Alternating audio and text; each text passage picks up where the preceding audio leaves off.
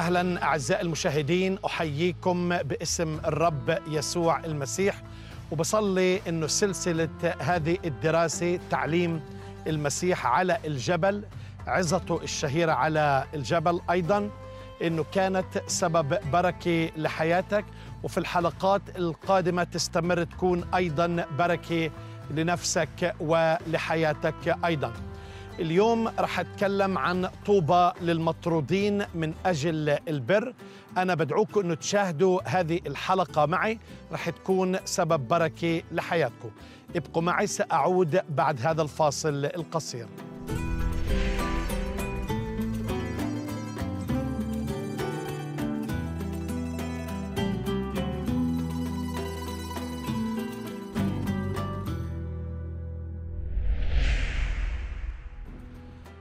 قال يسوع طوبى للمطرودين من أجل البر لأن لهم ملكوت السماوات. طوبى لكم ألاحظ هون الكلام بينتقل من صيغة الغائب إلى صيغة المخاطب. طوبى لكم اذا عيروكم وطردوكم وقالوا عليكم كل كلمة شريرة من أجل كاذبين. بل افرحوا وتهللوا لأن أجركم عظيم في السماوات.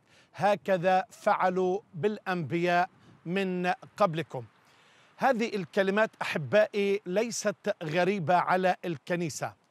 هون بنتعلم من مصداقية المسيح وأمانة يسوع المسيح المطلقة وطبعا صدق دعواه إنه ما تكلمش بشيء اولا لم يفعله ما وعدش في الشيء اللي هي يعني طريق مفروشة بالورود لكن اتكلم بكل صدق وبصراحة. إن أراد أحد أن يتبعني فلينكر ذاته ويحمل صليبه كل يوم ويتبعني. من لا يكون لي تلميذا لا يستحقني. من لا يبغض حتى نفسه فطبعا لا يستحقني. فاذا بنشوف آيات كثيرة أحبائي. اللي المسيح بطوب فيها المطرودين والمعيرين واللي بيتكلموا علينا أو عليكم بكل كلمة شريرة.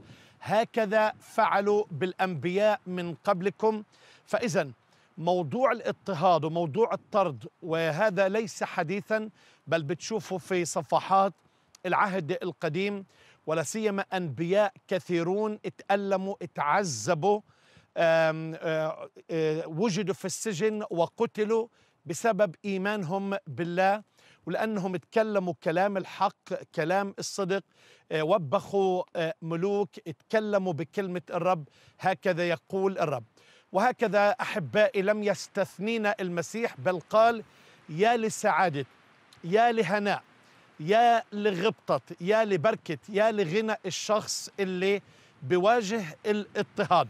ولاحظ معي شيء مهم. هذه التطويبة طوبى للمطرودين من أجل البر أجت بالضبط بعد طوبى لصانعي السلام يعني ملتصقة في بعض. والكتاب المقدس بيقول جدوا للسلام يعني أركض وراء السلام للكلمة العبرية ردفيه اللي هي نفس الكلمة للمطرودين وكأنه بيتكلم من ناحية إيجابية ومن ناحية سلبية. السلام اركض له اسعى له حتى توصل السلام في كل مكان. وانت بتعطي السلام وبتنشر السلام لابد انك تواجه أيضا الطرد والترك والتعنيف في كل مكان. طوبى لكم إذا عيروكم وقالوا عليكم كل كلمة شريرة من أجل كاذبين افرحوا وتهللوا لأن أجركم عظيم في السماوات. إخوتي وأخواتي. طب ليه الانسان أو ليه الناس إلى اليوم بيضطهدوا المسيحيين. المسيحيين لا بيقتلوا ولا بيرتكبوا شرور ولا حروب. بيتكلموا عن الغفران والمسامحة والمحبة. آه بيشتغلوا لخير البلد الموجودين فيها. طب شو اللي بيخلي الشخص يكره واحد مسيحي عم بيتشبه بصورة المسيح نفسه. هل في شيء على فكرة في شخصية المسيح ما بتنحب؟ هل في شيء في شخصية المسيح اللي بتخليك تنفر؟ هل في شيء في شخصية المسيح اللي بتخليك تخجل أو تنكس راسك؟ فلماذا يضطهد الناس المسيحيون؟ ولاحظ هون أحبائي بيتكلم عن أنواع من الاضطهاد. بيتكلم عن الطرد والفرز. بيتكلم عن التعيير والاتهام. بيتكلم عن التشهير يعني قالوا عليكم كل كلمة شريرة. كل كلمة شريرة من أجل كاذبين في تشويه للسمعة في تلويث وفساد للشخص الآخر. أحبائي لأنه قيم المؤمن بتختلف وبتتعارض عن قيم هذا العالم. بكل بساطة لأنك أنت مش عم بتساير هذا العالم مش عم تعمل الخطية ومش عم تعمل الفساد والشر. مثل العالم أنت متميز أنت مختلف. فالناس على طول بتبتدي تقاومك تبتدي تضطهدك. بقول من أجل البر وليس من أجل الفساد وليس من أجل الشر. لأجل تواضعك لأجل محبتك لأجل غفرانك لأجل نقاوتك لأجل رحمتك. طبعا إن كنا نتبع الحق فسوف نضطهد ابقوا معي سأواصل حديثي بعد هذا الفاصل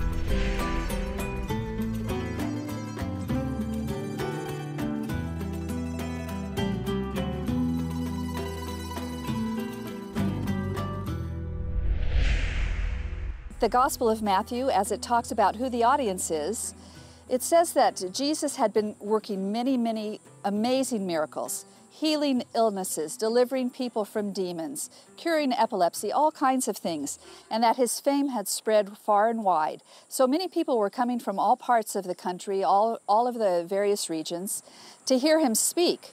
And when he saw the people gathering, then he took his disciples aside and he brought them up onto the mountain to teach them with the audience down below as part of it. But really, what he wanted to help do on the Sermon of the Mount was to help his followers understand what it meant to be part of the kingdom of heaven, what it meant to be part of his understanding of God's movement in humanity on earth in the present time.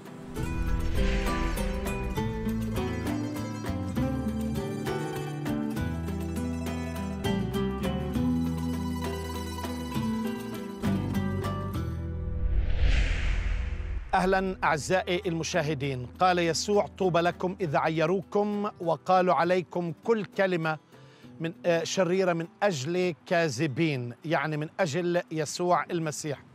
ورسول بولس اتكلم جميع الذين يريدون أن يعيشوا بالتقوى في المسيح يسوع يضطهدون.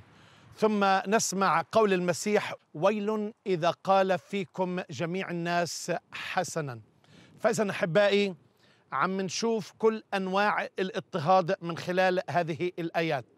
الاضطهاد الفكري الاضطهاد النفسي والاضطهاد الجسدي. بنشوف في وشاية في طرد وفي نفي. بنشوف إنه هذا الاضطهاد من أجل اسم المسيح من أجل إنجيل المسيح ومن أجل البر يعني مش لأسباب شريرة أو ولا أسباب اجتماعية ولا أسباب سياسية بكل بساطة كل الأسباب بتدور حول إنك أنت بتتشبه في يسوع المسيح. من أجل اسم المسيح لأنه أنت بتتشبه بالمسيح. من أجل الإنجيل لأنه الإنجيل بالواقع هو الأخبار السارة. والمفرحة أخبار الخلاص. من أجل البر لأنه المسيح يرفع المستوى إلى أعلى المستويات أن نتبرر وأن نتشبه بيسوع المسيح. هذا الاضطهاد أحبائي ما انتهاش عند هذا الأمر. فالمسيح يقول طوبى يا للسعادة يعني عم بهنئ ببارك له للشخص اللي اللي بمر في هذا الاضطهاد. فإذا في بركات للاضطهاد. بنشوف قول المسيح عيروكم طردوكم افرحوا وتهللوا لأن أجركم عظيم في السماوات. الشخص اللي بيضطهد عنده مكافآت مستقبلية وبالسماء أحبائي في أكاليل وفي مكافآت وبركات يمكن ما نستوعبها وصعب الحديث عنها. ثم أحباء الاضطهاد بقوي إيماننا حتى تكون حياتنا أصفى وأنقى وأرقى بتصير لامع مثل الذهب. وعلى فكرة إحنا بنضطهد لأنه هذا دليل على أصالة شهادتنا. وإلا ليش بيضطهدونا؟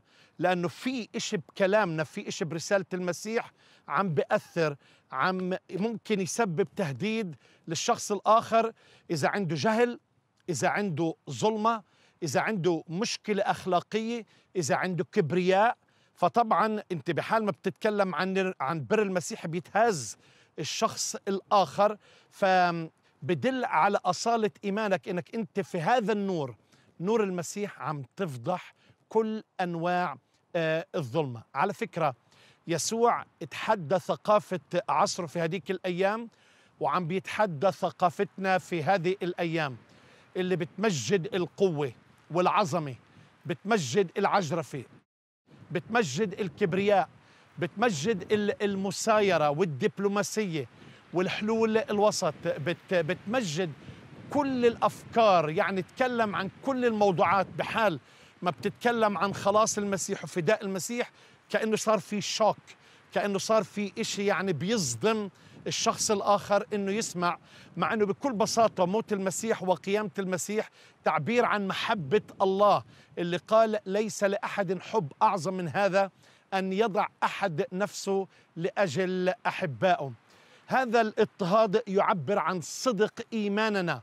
وعلى فكرة بقول افرحوا وتهللوا وطوبى لكم لأنهم فعلوا بالأنبياء الذين قبلكم.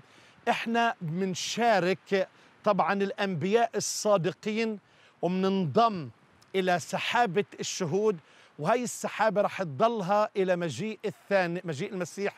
ثانية إنه في ناس رح تدفع الثمن تضلها تضطهد وتقتل من أجل المسيح إلى مجيء يسوع المسيح.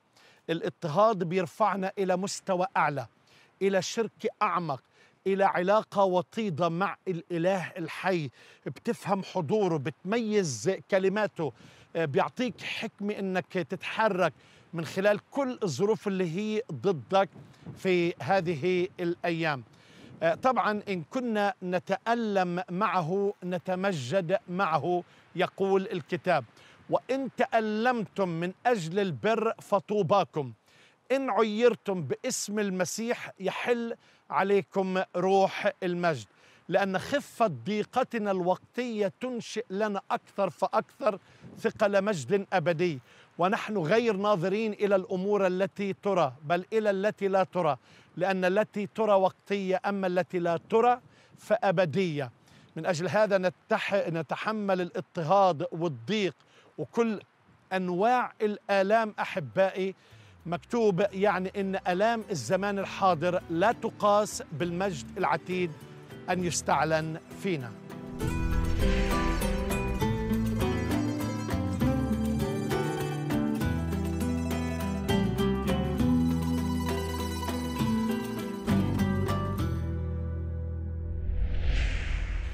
قال يسوع طوبى للمطرودين من أجل البر طوبى لكم إذا عيروكم وقالوا عليكم كل كلمة شريرة من أجل كاذبين افرحوا وتهللوا.